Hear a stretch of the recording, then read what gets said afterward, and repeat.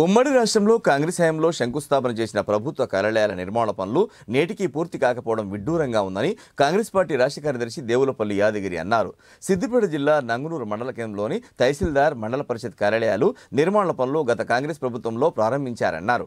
సిద్దిపేట నియోజకవర్గంలో అభివృద్ధి పనులు జరుగుతున్నాయని చెప్తున్న స్థానిక టీఆర్ఎస్ నాయకులు నంగునూరు మండల కేంద్రంలో నిర్మాణ పనులు ఎందుకు పూర్తి చేయడం లేదని ప్రశ్నించారు. నంగునూరు సర్పంచ్గా బాధ్యతలు చేపట్టిన క్రమంలో కాంగ్రెస్ ప్రభుత్వ హయాంలో నిధులు తీసుకొచ్చి శంకుస్థాపన చేసినప్పటికీ టీఆర్ఎస్ పార్టీ నాయకులు ప్రభుత్వ కార్యాలయాల నిర్మాణాలను పూర్తి చేయడంలో విఫలమయ్యారని విమర్శించారు. ఇప్పటికైనా అధికారులు ప్రజాప్రతినిధులు నంగునూరు తహసీల్దార్ మండల పరిషత్ కార్యాలయాల నిర్మాణ పనులు పూర్తి చేసి వినియోగంలోకి తీసుకురావాలని కోరారు. నంగునూరు గ్రామంలో కాంగ్రెస్ ప్రభుత్వం హయాంలో చేసిన అభివృద్ధి పనులే ఇప్పటికీ మనకు అసంపూర్తిగా దర్శనమిస్తూ ఉన్నాయి.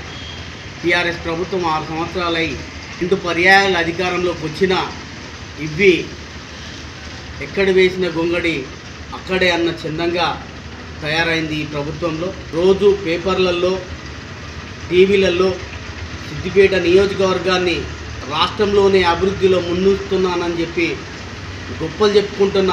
ఎంతవరకు ఇప్పుడు చేస్తుండో మీరే ఒకసారి గమనించాలని సందర్భంగా తెలియజేస్తున్నాం.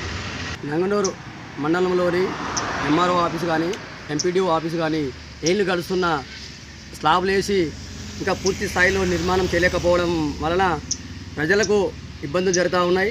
ఎందుకంటే ఈ నవీన యుగంలో ఇంత తెలంగాణ వచ్చిన తర్వాత తెలంగాణకు ఆర్థిక శాఖ మంత్రిగా ఉన్న హరిజిరావు గారి సొంత నియోజకవర్గంలోనే ఇట్లా ఉంటే తెలంగాణలో పరిస్థితి ఇంకెలా ఉందో ఒకసారి ఆలోచించుకోవాల్సిందా ఆలోచించుకోవాల్సిందిగా కోరుతా ఉన్నాం. అలాగే ఈ ఇన్ని డబ్బులు పెట్టి కోట్లు డబ్బులు పెట్టి కూడా ఒక ప్రభుత్వ కార్యాలయాలు కట్టలేకపోతే ఇక మామూలు ఆఫీసులు ఏం కడతారు అని మేము గవర్నమెంట్ను మనం ప్రశ్నిస్తూ ఉన్నాం.